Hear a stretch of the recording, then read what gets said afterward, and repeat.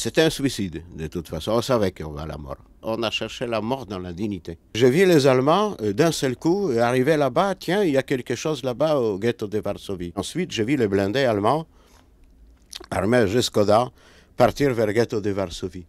Ce que j'ai pu observer, c'était des femmes et des enfants qui se jetaient par les fenêtres et qui étaient brûlés vifs euh, par les lance-flammes allemands. Ça, je l'ai vu.